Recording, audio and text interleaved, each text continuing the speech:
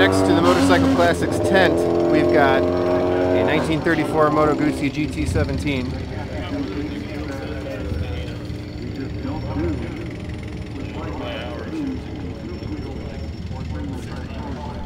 It's been pretty cool working next to this bike all day, being able to take a look at it.